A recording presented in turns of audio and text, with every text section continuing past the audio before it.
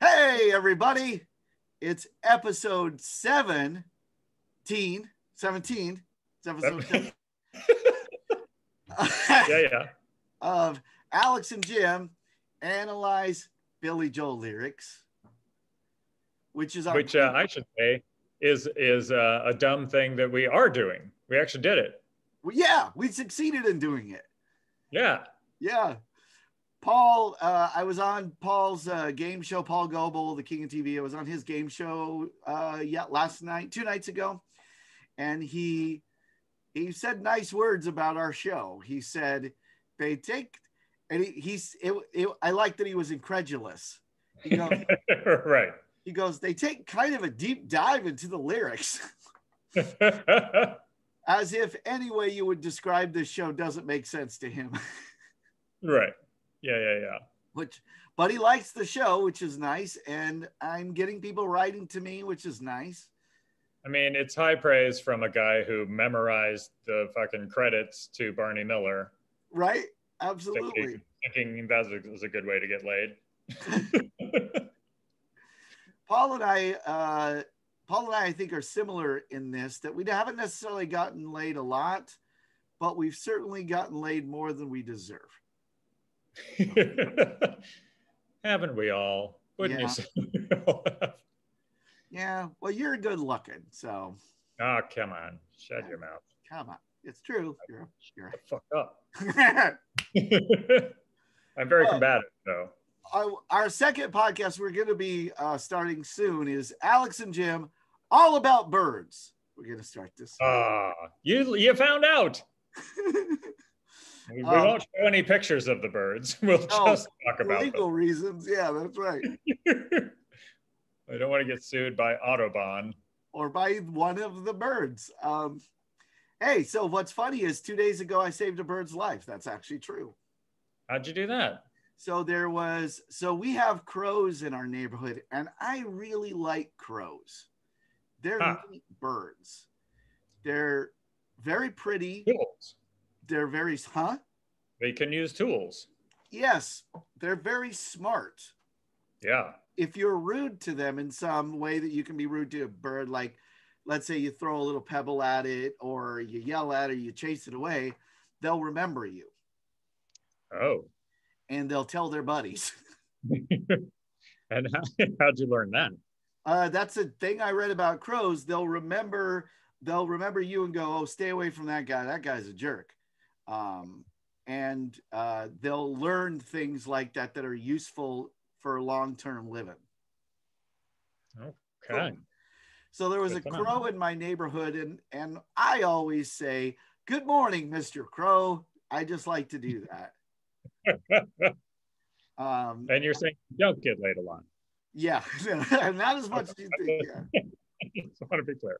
Waiting for the right crow lady, who's like, "Oh, I love crows too. Let's let's make this happen." And I'm like, "Oh, you're surprisingly good looking, or whatever it happens." Yeah. Um, but I I'll say good morning to the crows because I have a nice morning walk with my dogs, and there was a crow walking. You don't see birds walking a lot, It's true. just on a stroll. And I was like, oh, that's funny. But you know, maybe he's getting water, and we're getting a little bit closer, and it starts walking away from me faster. I'm like, oh, that's not good. So uh, it because and it goes up into the air about three feet, crashes to the ground, loses. Yeah. So I managed to get it, hold it very gently, and it calmed down and seemed to know I was okay. And I got called um, professionals who take care of birds Yeah. and just destroyed my morning. I was taking a little morning walk. This is going to be the first 20 minutes of my day. That was four hours, but it poor little guy needed some help. So there you go. Saved a crow Nice work. or sent him to die safer. I don't know. That's worth something too. Yeah, I would if somebody did that for me, I'd be grateful as well. Either way.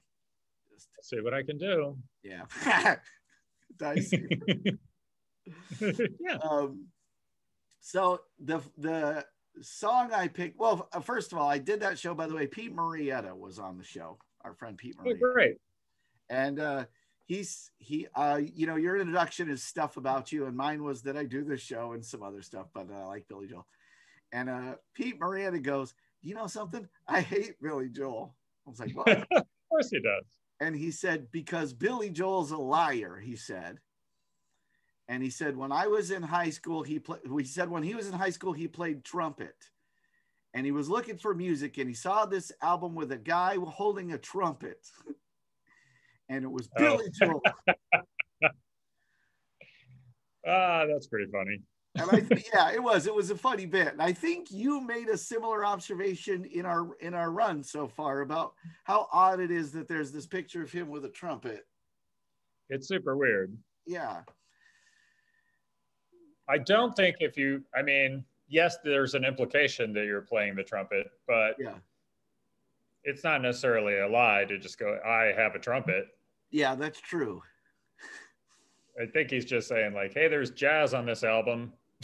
Yeah, Watch out. yeah. He uh, that'd be great if there was no trumpets at all on that album. I'm sure there are, but it would be so great if there wasn't. it's also like if you want to take a picture of Billy Joel outdoors, it's a real hassle to drag his piano outside. Yeah, that's very true. They're just like, oh well, just well, just hold this so they know you're a musician. Yeah, Like, "Eh, all right, Yeah, and as you might imagine, because this is very, very Pete, uh, the the show got a lot of miles out of that joke, so it was good. great. You know, all right, yeah, yeah, Uh, it's so, a fun uh, show. Yeah, it's a good fun three hours. Yeah, it's yeah. He's doing somehow. Paul figured out it needs to be tighter because it was better. Oh, good, great. Yeah. Well, I'm doing it in a couple of weeks, so I'm excited to uh, see what they manage. Yeah, it's just. I, I mean, half of it's about the guests, and every single person on the show was a hitter as far as just making jokes. So that's always great. That's all that matters. Yeah, it yeah, it really is. There just needs to be bits. Otherwise, it's some fucking horseshit. Um, otherwise, it's uh, uh, Jim. Tell me about how you saved a crow. Ugh, right? Who wants to watch that? no. Wait a minute. Did you tell the people what song? now, here's the song I picked this week, and uh, Alex does not love this song. No. Um, it's a River of Dreams, or I guess it's in the middle of the night. Parenthesis, River of Dreams is I believe the title of the song. Yes. and uh, it is off of uh, the same album, so it will be the title track from that album, "River of Dreams," which River- pretty sure is the last studio album. Is that right? That seems right. Yeah. Yes, I think so. And in my recollection, that album overall didn't do particularly well. It wasn't. It Right. wasn't on the charts a lot. I'm sure. I'm sure it made money. I'm sure he did fine on it, but it wasn't. Uh, it wasn't what had come before, and it maybe was a sort of a Larry Bird moment where you go, okay, I think Yeah. I'm out Time of to gas. the coach. Yeah, yeah. It, I think I can't think of another hit off of it off the top of my head. There are songs on it that I like. indeed.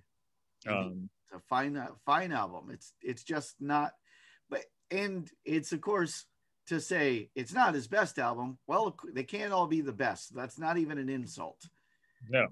you have a series of albums one of them's going to be the worst one one of them's going to be the best one and and some subjective opinions in between Yeah. And it's certainly not his worst.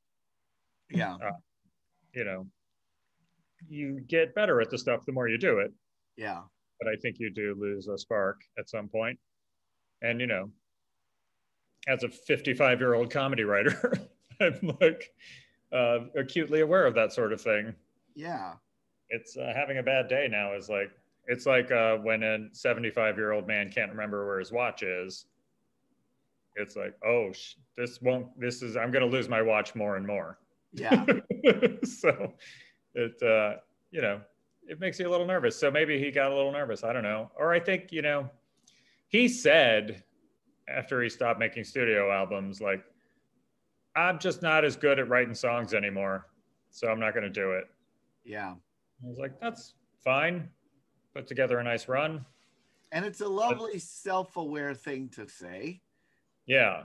Um, Certainly a thing not enough people do. indeed. You know and there and there comes a point too where it becomes sad and you don't want it to be that and it never became that you know if you make enough bad albums after all your good No. work like i could think of like uh, jefferson uh, airplane uh, they made so much crap that makes me just think I have no interest in the group at all. And I know their early work was relatively meaningful, but Yeah. Lord, did they produce garbage? Sure. For way longer than anybody had to. Absolutely. And more garbage than good. Um, the Rolling Stones, I have a similar opinion too. The Rolling Stones, I'm like, they'll produce a nice song every now and then. And I'm like, I can't fault you guys for enjoying being famous and having sex with people who are younger than you. And that's great. But man, a lot of your music is crap. And you know, again, I think Billy Joel did it right because he like had a nice what 10 or 12 studio albums. Yes. And now he's like, I'll still play the stuff. yep. You can come see me, but it's going to be the same songs that you already know, which is what I want at a concert. Yeah. I don't know if that's old man thing, but I want to know most of the songs. Yeah. And in this case, all of the songs. But I It's- don't I don't want to be deciding about a song. Yeah. You know, I don't want to pay 150 bucks to go, well, maybe. Let's see. What do you have? I uh so I think I've told you this. I've been to see the Barenaked Ladies in concert like eight times or something. Yeah. Um one of the first times I went to see them, they debuted a song and I did not enjoy it very much. Yeah. But the last time I saw them, it was one of my favorite songs to see because I've had eight concerts to see it, and it's a song that includes an audience part. Oh, good. So it's, but it took a while. And uh, they're very funny. And one of the things they go, they they will say, the lead singer guy, uh, he said, uh, "There's there's a sing, there's a part to sing along to, and if you look at your neighbor and they're not singing along, just know that means they're racist." Great. Fantastic. But yeah, you go to Billy Joel. If you like just knowing what the hell's going on, you're gonna like Yeah. that. It's just a jukebox. Yep. Like, yeah, I know this one. I know that one. Great. That's what I want. So I picked uh, in the Um, middle of the In the middle of the night is it's not the worst. Yeah. It's just musically not that fun, I think. Yeah. It seems to me like he's doing a little bit of a Graceland thing. Um, it's a lot of production. I like the stripped down stuff a little more. Yeah. It's gospel-y. But I will say, I went back and looked at the lyrics, of course, before doing this, since we're all about the lyrics. Um, and it is a li- it's kind of a tragic song in a lot of ways. It's yes. I think I mentioned this when I when we first brought up the song. First of all, by the way, spot on. When I'm listening to it, I'm like, yeah, this is a Graceland. This you you're absolutely right. This is I liked that album. Uh, can I have that? Right. And the gospely stuff is, you know, it can come across as silly Yes. because you're a white guy and you're doing this thing. And I don't think it comes across as offensive. I think it comes across as you're trying. yeah. But definitely the parts in the beginning when you're going, no. yeah. Don't, don't do that. And yeah. At least Paul Simon was like, I'm just going to keep being Paul Simon and then I'll hire people to do the other stuff. it's funny because it gets better when he comes out of that note because he'll go, he'll go, and then he'll go, ha, and you go, okay, that's your note. Your note is ha, do that one. Your range now. Great. Yeah.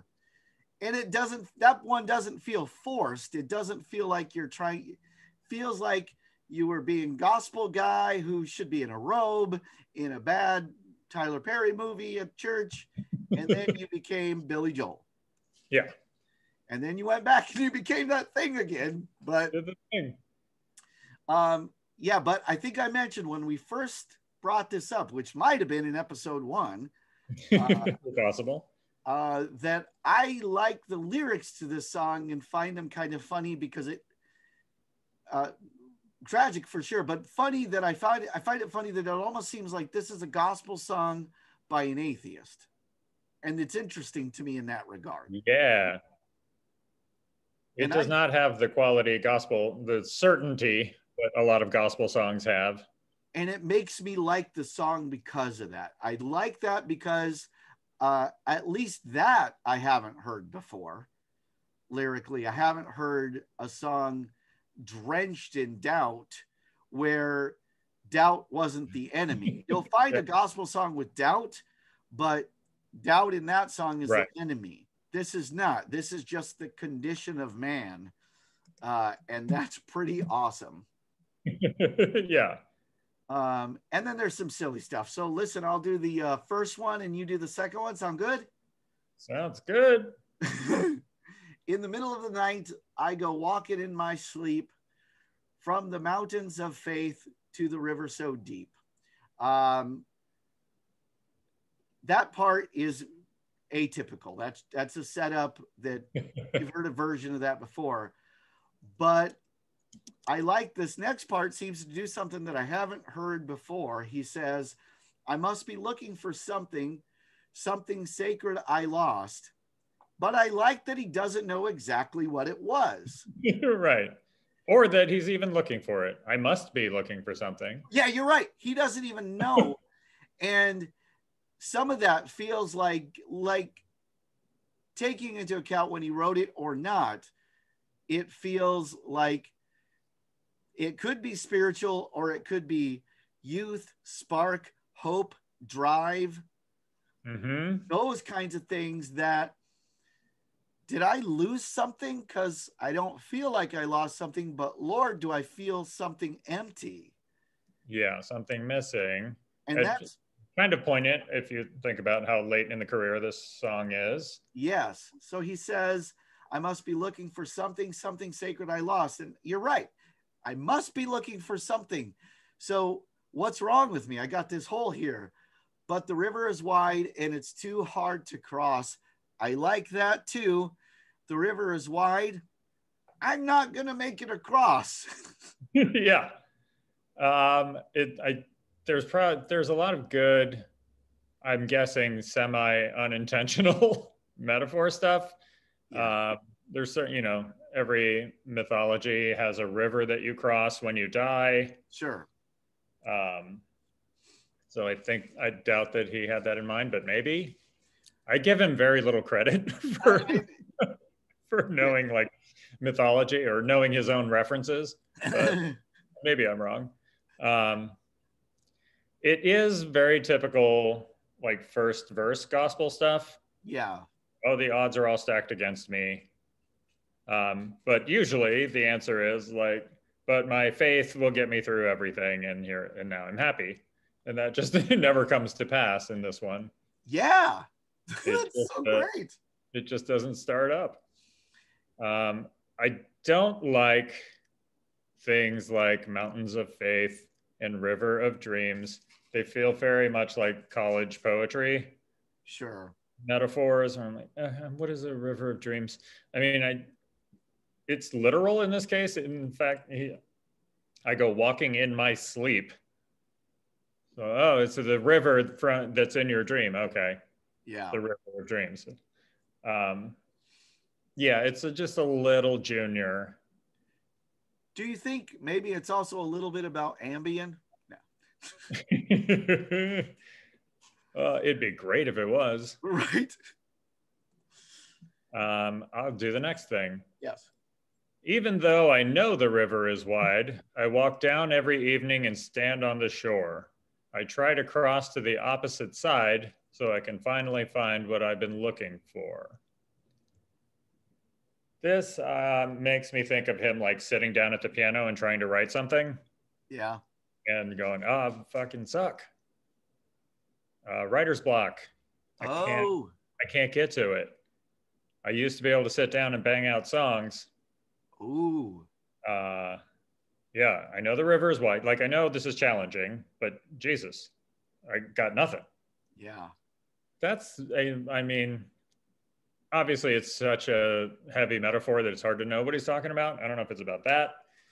I don't know if it's about love, which would be very tragic because he supposedly was very happy in his love life at this point. Sure.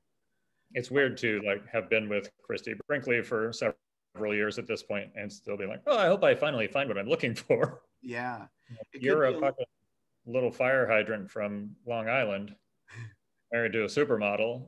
Like, I think, man, maybe that's part of it. It's like, oh, I thought I'd be happy, and I'm not. And so, uh, what am I looking for? I must be searching for something. Oh, oh, if it isn't this, oh yeah, if it isn't then, then what the If hell this is doesn't it? make me happy, then what? How big is this hole inside me? Yeah. I could absolutely see that, and I could definitely see the um Although I will say, she seems like a dud. She's very pretty, but yeah, probably. Uh, I don't know. I don't want to judge her too harshly, and I'm not doing it on appearance. I've seen interviews with her, and it seems like she'd be a dull conversationalist. yeah, I could yeah. And ah, you know, you're with a person, and if they, if you are with them for physical reasons, then the physical reasons are always a blast when you're doing physical things. right. when people are naked and doing that kind of stuff. But there's always a point when you're done doing those things. The other 23 hours and 58 minutes. Yeah, yes. And you're like, Lord. You're like, So, oh, uh, right. I have to also watch this person eat. what are your interests? None. You don't. uh, You don't have interests. Actually, if somebody ever Huh. said that, they'd be a good person to talk to. If somebody literally goes, "What are you into?" Nothing. I'm not into anything. I don't have interests. yeah, I'd, I'd want to know more. Okay, listen. That's my next made-up thing at a party. I'm going to say that because that's sounds Please, I hope you do. I will. Hey, I'm the guy who I went to a Hollywood party wearing a wig that was obviously a wig just to make people go, that guy just have chemo? Uh, and did nobody say anything about your wig? it was amazing because it was a Hollywood party filled with Hollywood people. The one person who said something was somebody who had also recently moved from back east. Great. it was this lady comic. I wish I could remember her name because she's hilarious. And she reached over, uh, grabbed the wig, and went, What are you doing? That's the best reaction to that. And I ended up talking to her for like an hour just because she was hilarious. And I was like, oh, this is great. What I wanted, I don't know if that's what I wanted really, but I do like being uh, um, put in my place by women. So uh, and you love it when people hate your bits. strangely enough, yeah. Yeah. I love both those things. And I'm learning to understand that as a professional, appreciate the other one more. Oh yeah, yeah. but In your free time, yeah, Yeah. the bits, uh, yeah, make people hate your bits. You can be a bit masochist in your free time. yeah. It pays really poorly. Um, I made I made Paul mad. I because the joke I made is, do you th- it would be great if Tom Hanks directed a superhero, mo- the next superhero movie for DC, and he directed Oneater Woman. And he goes, "God "Damn it!" I was like, "You get it?" And he goes, "Yes." Ah, it's so fun making him mad, which it really shouldn't be because it's so easy. yeah, it's straight. Yeah, the joy is easy to get to. it really is. He's a giver that way. so that I could. Wow, that's interesting. Yeah, being. Yeah, it is just a sad song because you're with the woman who, who well, or it's a. If you finally realize, oh, it isn't that. I gotta have somebody I could talk to because he's got a lot of songs about how. He's got a misogynistic point of view, but that more like he's got an old-fashioned point of view. So if he cracks through that, or has cracked through that, then you'll get to what you're looking for. I do like about this song that he isn't the competent one. So many of his songs are like, I am smart and cool, and everybody else is doing things incorrectly. Yeah. And I'm looking down on them for doing things incorrectly. And this one is like, I'm lost and I don't know what I'm doing. And isn't that the truth about when you finally get to be in your 40s, if you've been paying attention, you go, oh no. yeah. Think, My confidence was wrong. yeah, I maybe need some help. And you become more tolerable, you become kinder um, if you're doing it right because you're paying attention If you're doing it right, some people just double down and get worse. Yeah, absolutely. And, you know, and those people hopefully are alone for real, like, because you're not good. Yeah. You know. And they're still making albums. yes. so they're like, no, these are great songs. They're still I know making- I'm 73, but yeah. they're still making albums and they call themselves the Beach Boys, even though there's no Brian Wilson. Idiots. idiots. My observation is if going to see the Beach Boys without Brian Wilson is like if you went and saw Ringo Starr and he came out and went, Hi, everybody, I'm the Beatles. No, Yeah. With the difference being that Ringo seems like a perfectly pleasant fellow. I think he would say, I, I'm lucky I was a Beatle. Yep. I'm bad at drums. I don't know if he'd say that. but- so then we go into what I guess is a chorusy kind of part. In the middle of the night, I go walking in my sleep through the valley of fear to a river so deep. Uh, this next part, it's funny because they almost all start out with a cliche, yes. but the cliche I don't mind because it feels like it's in service of something bigger, which is the part that we like. And you almost need the cliche to say to the uh, to the listener, okay, this is the kind of song you're listening to, but Right. also because right after a river so deep, he says, "I've been searching for something taken out of my soul, something I'd never lose, something somebody stole." I like that a lot. that is uh, now he, he's uh, blaming other people again. He's mad, and but that's such a valid feeling within. Uh, that's such a valid processing of whatever kind of loss. You know, Right. My, uh, this last year, my dog uh, Buddy passed away, and um, Mary Jo can tell you that I I'm more or less a skeptic, but the only time I kind of believe in God is when something bad happens, because I think I sometimes think, and this is just me, there might be a God, but man, is he a royal prick and I will be angry for a few days is part of my processing. One of my sillier jokes is I, I say, I hope that if I if there is a God, that he wears a collared shirt. That's what I hope. So that when I meet him, I can go, what the fuck was that? And but it's a it's a you know, so I get I think that's a valid part of processing. Like I'm mad. I don't understand why this went this way or why I feel this way. right. It is in direct contradiction to what he said earlier. um, you know, uh, something sacred I lost is what he says earlier, and now he's like, uh, I'd never lose. Somebody stole it. Um, which you know, it's like one of the stages of losing things. yeah. like, even little physical objects. You're like, oh fuck, where did I put my watch? Oh shit, somebody stole my watch. Then the next thing is like, oh, there's my watch. Yeah. um, but yeah, it is like a little progression you have to go through. Yeah. Um, but it, I did, it is funny that even in this song, there's a little of the old Billy Joel. It was like, I didn't fuck up. Everybody else fucked up, buddy. even in your gospel song, you're like fucking making accusations. oh, which I. I so relate to. I really do. Like just oh yeah, yeah. it's why we like the guy. He's uh he's petty. Yep. Oh my god.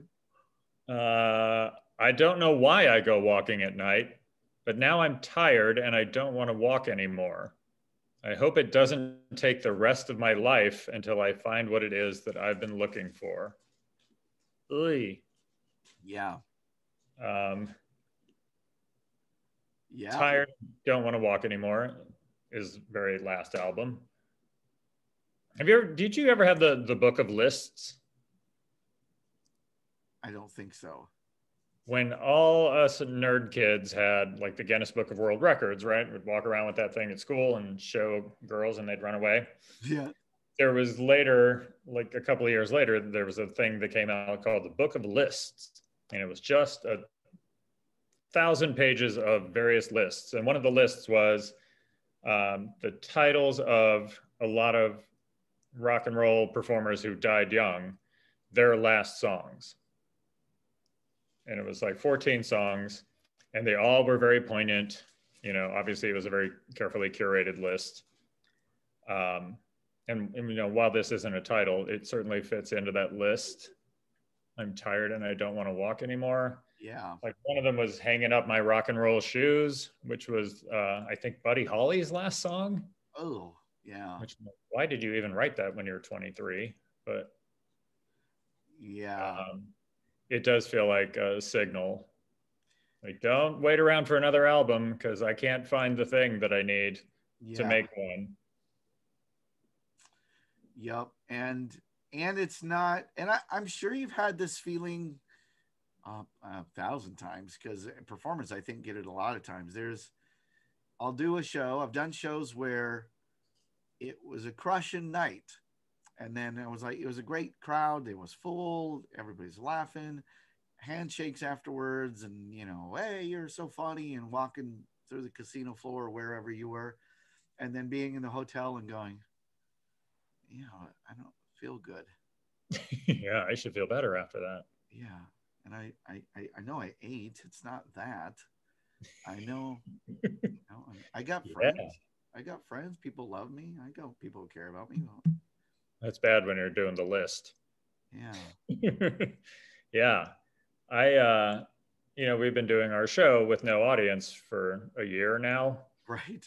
So every day kind of feels like that. I, you know, I work all day on the show. I've been going into the office Sure. And then I go into the studio to watch the show with like eight people on the crew and like cameramen and me. And uh, it's rollicking. It's very fun when it's happening. And Seth is great. And then it, he's like, all right, good night, everybody. And then there's no applause. and the lights come up and Seth walks away. And then you're like, oh, okay. I don't, I have no idea how that went. There's yeah. no way to know. Even though you were just having fun a minute ago, you're just like, oh, okay. and then you get on the subway and go home. Yeah. Oh Lord. Uh, it's it's so weird. Yeah. It's like uh remember when Monday Night Football decided they would broadcast without commentators once as an experiment? Did you ever see that? Yeah, and it wasn't too good it wasn't too good. And then you were like, oh, that's, I'm watching the commentary and the football game is there to facilitate this conversation yeah. between these commentators whose voices I enjoy. Oh, no. Have you ever watched Inside the NBA with Charles Barkley and? Oh, yes. Um, the best. I like that better than watching a basketball game, and I like basketball. Yeah, I watch that whole show, and then they'll, and then they'll start the game. I'm, eh, I'll come back when there's three minutes left. Yeah. Yeah. Unless, yeah, unless there's a, I don't know, unless it's such a, cru- a key matchup that I'm really fascinated by. But for the most part, yeah. Like if Lin actually makes it back to the NBA, he might, by the way. You're a New York guy. I heard. He may make it back to Golden State because, and he'd be incredible for what they need because it's the perfect situation. Their their starting five are great their bench is problematic. So uh-huh. you're like, oh, right, he could be the guy on the bench who gives you yeah six to ten points, um, decent ball handling. Oh Lord, yeah, fresh legs. Yep. I like that expression.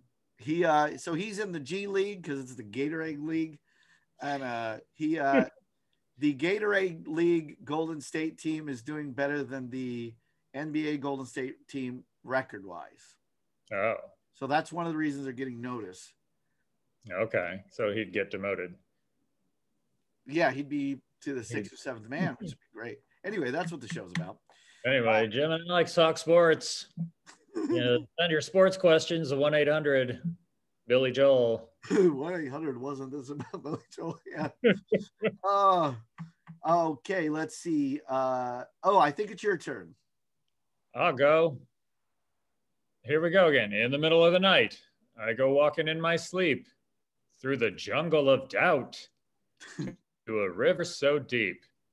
I know I'm searching for something. Ah, something so undefined that it can only be seen by the eyes of the blind. No good. No good? Oh, um, I don't think it can only be seen by the eyes of the blind is the one that I doesn't work for me. Does it work for you? It's one of those things that sounds profound. Yeah. And then you read it again and you're like, oh, yeah, that just sounds good when you sing it, but it doesn't mean anything or make sense. Yeah. Unless it's a super clever reference to like Ray Charles or Stevie Wonder. right? No. Oh, Lord. Okay. You know what? Maybe. And I could give him credit if he's at the end of the ropes, his ropes, as far as like figuring out music. So I like something so undefined because Yeah. reiterating, I'm not quite sure what the problem is. Yeah. Okay, now if if you just unlocked it, because that's not bad then. That's interesting. Um I'm not entirely sure that's what he meant. I hope it is. I hope it is. I feel like he probably just was like, ooh, that sounds cool. Yeah. But if you are him, a career piano player, it might be one of the first things that comes to the front of your mind when you talk about blindness. Yeah. I so No way to know. The problem is there's so much garbage in the song that Yeah. it's it's hard to believe that anything is a gem. yeah. Also, oh, I have- of doubt. Look out for the jungle of doubt. right? So this fucking uh, it's a D and D Bride? We're in the Princess Bride. Right? It's or a D and D quest, yeah. Yeah, yeah, yeah. Oh, the jungle of doubt. Roll your 10 sided die. oh, you were crushed by doubt. You have to go home. I'll call your dad. Then you are attacked by No Doubt, and it's the group No Doubt and Monsters, though. Tell the people what casino you're at next week. Here's, by the way, a long-standing complaint of mine throughout my life. Do you? Uh, many years ago, there's this kid named Matty Stefanovich. Do you do you know the name? yes. So poor kid, he was born uh, with uh, some just he wasn't going to live long, whatever medical condition he had. And his poor mother, she had had two kids, and they both had the same thing. And he was on borrowed time, and he uh, but he lived longer than he was maybe counted on to live, which is nice. Um, which is some people call a miracle, and then I'm like, apparently miracles are shittier than they should be, because him getting better was to me would be pretty great. But yeah. he wrote these books, and they were inspirational books. And my wife loved him. He was on Oprah, and we were at uh, some little cottage bookstore one time, and we got a signed copy, and it was very nice. But I always find it irritating that if somebody has a debilitating disease and they want to be a source of inspiration for you, cool. But don't you ask them to be that. Yeah. They don't owe you that. And somebody blind doesn't owe you being uh, a source of wisdom.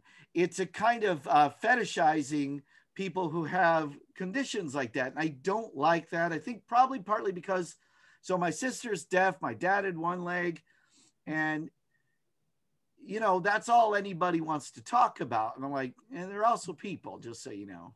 right. And they can, yeah, you can have one leg and also be a dick. Yep. it doesn't mean you're like a magically inspirational person. Yeah, and you're You, deaf. you can have a whole body and live for 95 years and be inspirational too. Yep. yeah, it is the same. Yeah, it's similar to the uh, the magical black person that shows up in movies. Yep. Like, let the guy be black. Why does he have to give you advice?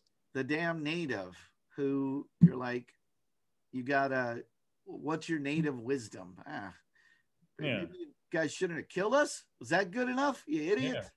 You want me to tell you which berries to eat? Figure it out. Yeah, so I think that's why this line hits me as just one cliche too many, coupled with the fact that prior to this, what I've liked in the lyrics is that we started out with a cliche and then it used the cliche to get to not a cliche. Yeah.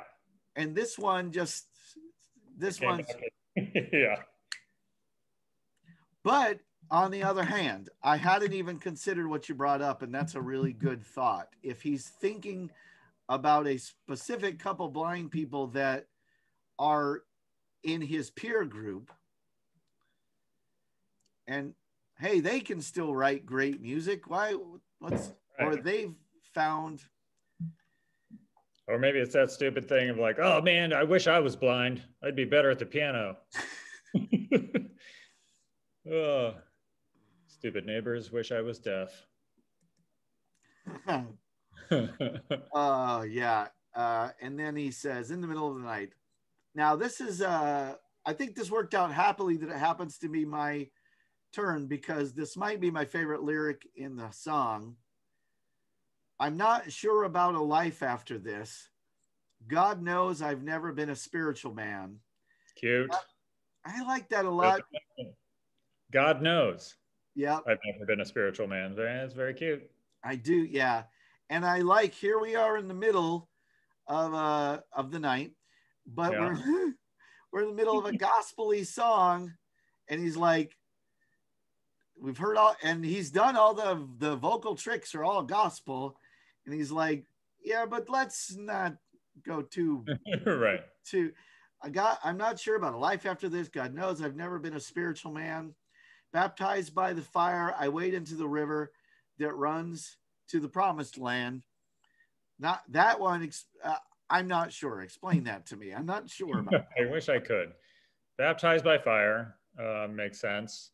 Yeah, Um, but you, you know, usually you're baptized in the river.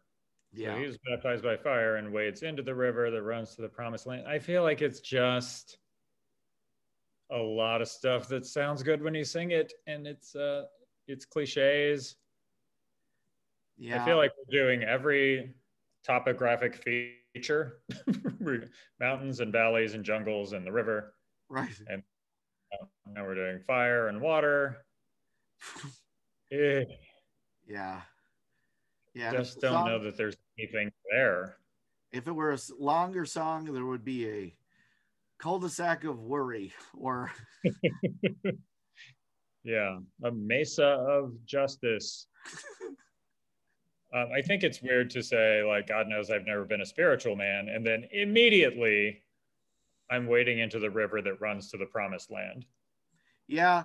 which is, maybe okay i'm glad you said it that way because that maybe gives me a clue maybe what we're trying to get at is um well you know wading into wading into any pool like you wade into a pool is when you put your toes in to because it's a little colder you're not sure if you want to get in the pool wading into the river of the promised land it could be meant that way like but here i am I'm gonna try this. I'm I might even try praying. I feel dumb doing it. I've never been sure anyone was listening, but what I've been doing so far hasn't been working.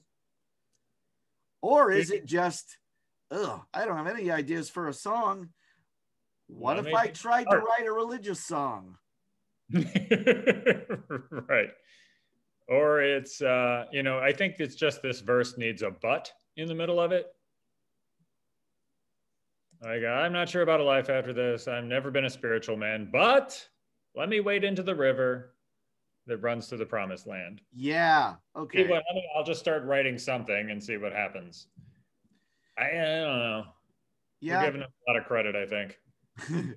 I think it also was just like, let me write some lyrics that also sound like gospel so that they match the song. Yeah, I can see that. I can absolutely see that. And the song, and it's gonna you'll you'll take us out on the last one, but the song seems to end on a either a potential note of hope or acceptance. Let's see what we think. It's very Jonathan Livingston Seagull to me.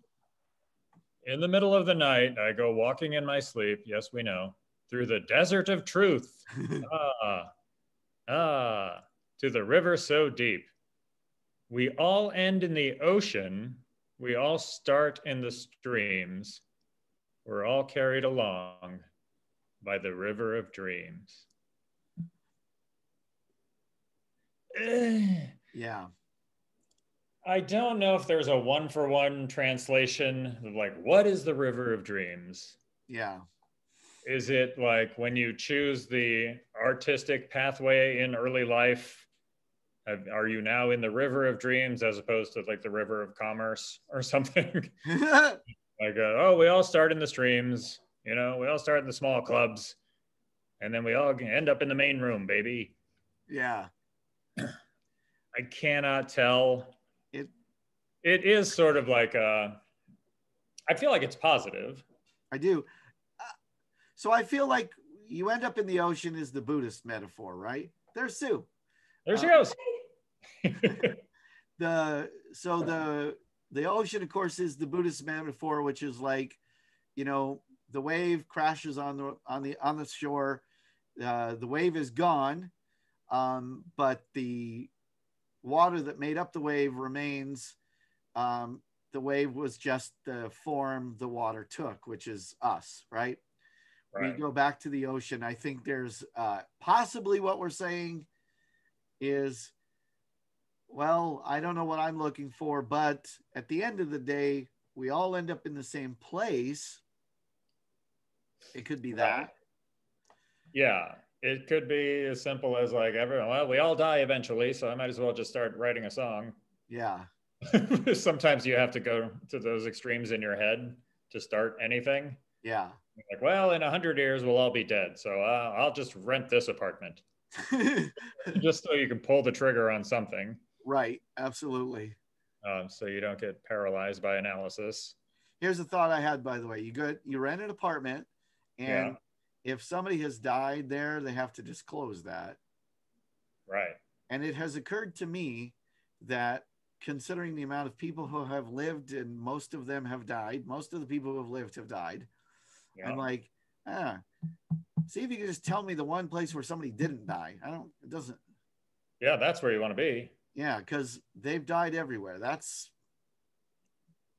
yeah. Get me that that death proof studio. Yeah. With a doorman. Yeah. Some things are not worth it. I don't want to live forever without a doorman. Hey, does your place have a doorman? No. Okay. So we're talking about moving. Yeah. Oh yeah. Yeah. So if you see a different background one day, that'll be why. Or uh, I will have changed uh, chairs. Yeah. There's many things could have happened. Yeah. Yeah. Yeah. And as the, are you going to scope out a place with a doorman? I don't think so. Yeah. Yeah. I I never learn.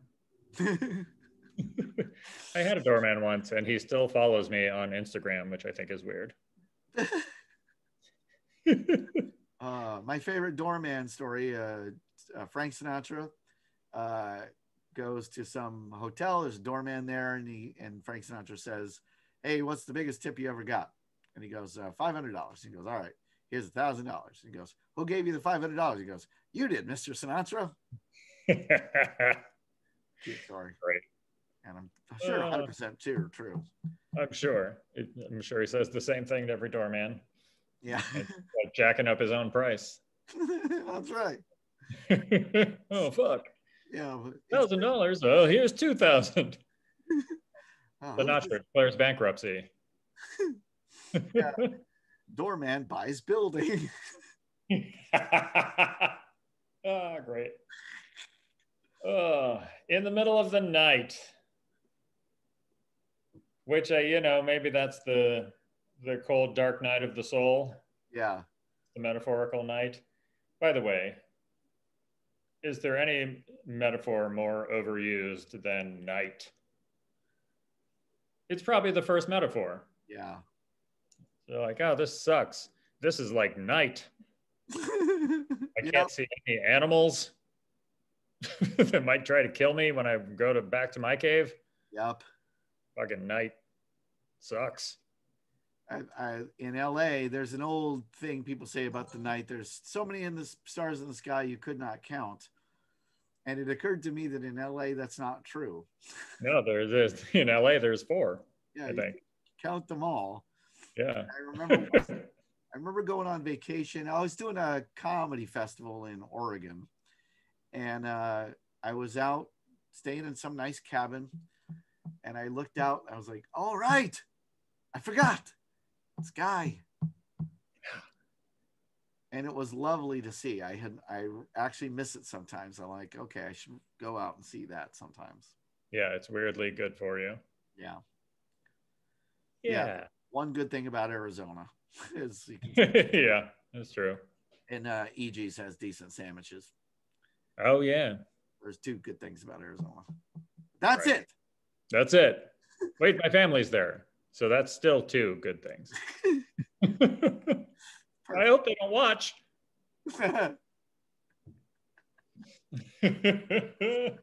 or I hope they do. they won't learn. They'll never learn. Uh, anyways, I've been kind of hiding part of the picture. I've been wondering what's behind you. Ah, it's a little boat. A little toy boat. A little toy boat. Uh, but it's in a pool. Yeah. So instead of focusing on the pool, I'll just tell you, um, focus on the color of the water. Ah, blue water. What is green it? blue? water? It's greenish. It's greenish. Blue green? Blue green. Green. yeah. Teal? Is it teal water? Green, teal. There's probably Uh-huh. another word you could describe it with. Hmm. Hmm. crystal? Is it crystal? It is a crystal. Ah, is it sapphire? Is it? It's emerald. It's emerald green. Yep. Yeah. So that's a precious stone. Yep. God damn it. Jim, you how am I so bad at this game? I might be bad at clues too. Let's be fair. But, No, I think you're, you're generally pretty good. So, um, You're sailing on the emerald green waters. yes, yes, I am. Yes, you are. And that is from So It Goes? No. Is it from Lullaby? It's from Lullaby, this same album. Why do I? What's the lullaby? Is the parentheses right? Yeah, or is good that the title? Yeah. Good night, my angel. Yes, when we went sailing on an emerald bay. Yeah. And I was playing with how, what the clue should be, and I felt like a toy boat made the most sense Yep. poetically, just thinking about what he's talking about, because it's just a little kid. Just know that I love you, and very cute, sweet little song. Yeah. Like, yeah, remember when we did that nice thing? Now go to sleep. yeah. yeah. it reminds me so that reminds me of a beatles kind of thing to do but not like he was trying to do a beatles thing but it's a tiny little song that's objectively not meant to be played on the radio it's not a hit it's meant to be for his kid Yeah. and i like that a lot I Those are always great. yeah You're like, oh shit, I want to be a kid and have some. Like my parents didn't sing shit. yeah like um, didn't write anything for me. Yeah, like Her Majesty. That song by the the song Her Majesty by the Beatles is clearly not meant to ever be played anywhere. it's just But for it's fun. nice to hear. You remember that song? I don't offhand. Her Majesty's a pretty nice girl, but she doesn't have a lot to say.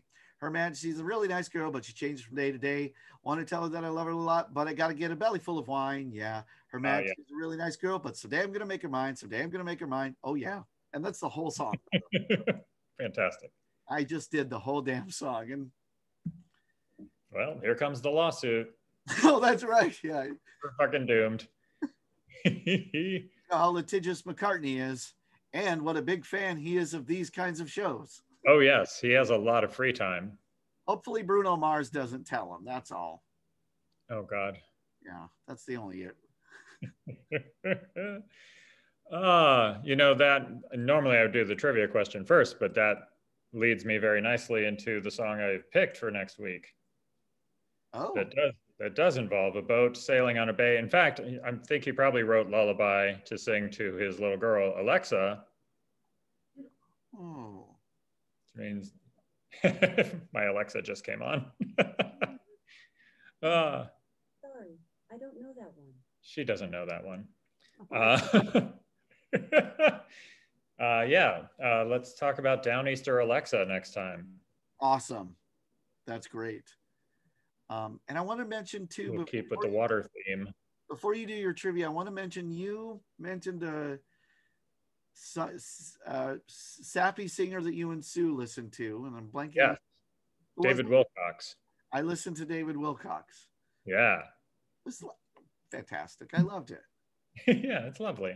I loved it. And I was even going to mention that um, River of Dreams, um, um, Second Wind, uh, Uh, even tell her about it to some degree. There's a few songs that are, and this is one of them, uh, Billy Joel does that are very sincere. And sometimes yeah, you can feel stupid enjoying them because that is the one of the banes of existence is not that you sometimes don't allow yourselves just to enjoy something. yeah, And when I'm in the right headspace, I'm like, okay, this may not be a great song, but I like it. and it's nice. He's being nice. Yep. I mean, all we talk about is what a dick he is, and then he's like, "Oh, you, you can get your second wind," and we're like, "You loser." You suck. I was like, "Oh, I tried to be nice for one song." Um, yeah, no, it, the, they're not as good, but they're joyful. yeah, That should be worth something. absolutely. And uh, that's what I was thinking with the David Wilcox. I was like, this is nice. Yeah. Have you ever listened to KT Tunstall? No, you have. Wait, I maybe know one or two songs. She's got that song that goes, woohoo, Yeah. woohoo. the horse and a cherry tree song. Yep. I Yeah. like her a lot. I like listening to her a lot. And I'm like, I, I'm pretty sure it's good. But even if it wasn't, I was like, it's just full of such uh, life and joy. And I'm like, okay, I could use a little more of this. Yeah. Um, I think uh, there were people when we were younger who definitely thrived on the idea of liking stuff. If you like the wrong stuff, you were lame, Right. um, which obviously you and I heard a lot of. And but I felt like they were always living on a fucking razor's edge that you know somebody would turn it back on them Yeah. and they could only like like Sonic Youth but only that one album and then like they their listening lives were so narrow yeah. I hope they all went home and just listened to like james taylor like Yeah. secretly yep. um the only per, you know the people i think of now those people who are in their 50s now are mostly miserable Yeah. I, probably a coincidence but maybe not Yeah. And I, I know a fella who was like that as a kid who's not like that now and he's doing good. And Yeah. good for him. But yeah, a lot of them just end up being, you know, complainy fucks. And you're like, ah, come on. Yeah. Just, it's it's so absurd because literally, you know, you listen to Sonic Youth and I listen to James Taylor. We're doing the same thing. We're sitting down and somebody else is doing a song. right. Why you don't get to be better than me? Our albums were the same price. yep. We're both losers. Yep. And if you listen to Starry Starry Night and you don't cry, well, there's something wrong with you. Yeah, look into that. you That's a symptom. yep. Um, I don't know about the reliability of the trivia I found. I love it. So, but I will say that the, according to this trivia, Billy Joel is the number three selling solo artist of all time. oh, okay. Number three. That seems high, right? No, it doesn't Well- because he has a discography that's a little bit that's somewhat like the Beatles in that there was a period of time where every album charted, Yeah. every True. single one, and he had he did a lot of albums. Eh, maybe. True, he was around for a long time. Nah, Uh, I don't know. Three does maybe seem high. Who else would it be? So who are the? It's the Beatles. So the question is, who is one and two? Okay. Oh, okay. Solo artists. Solo. Okay. Yeah. Okay. Good. All right. Michael Jackson. Wait, I'm Sue is lip syncing her guesses at me, and I can't tell what she's saying. Michael no, no. Jackson. Okay, so far you're both wrong. Oh, Not Michael Jackson, not Uh, Carole King. Frank Sinatra. No, Wow. no, It's not Prince. It can't be. Prince is too niche. no Prince. And uh, and it even obviously there's the King, Elvis Presley. Okay. number one. Paul McCartney. Elvis Presley and Paul McCartney. Think across the genres. Oh.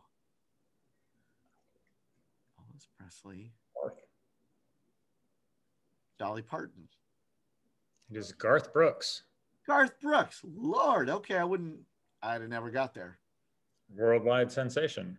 Wow. Um, yeah. So I don't. Again, some website says um, it was WebMD, so I don't know if it's accurate. And they were like, cancer is number four. well, I went to see cancer.